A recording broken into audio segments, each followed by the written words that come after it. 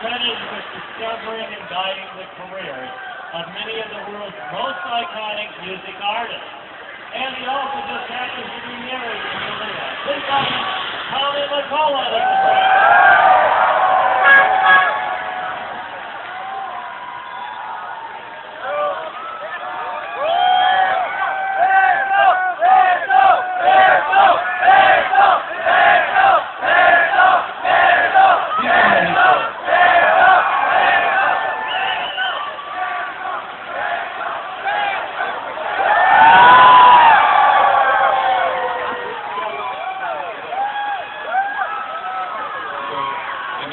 1998, I was the, uh, the person lucky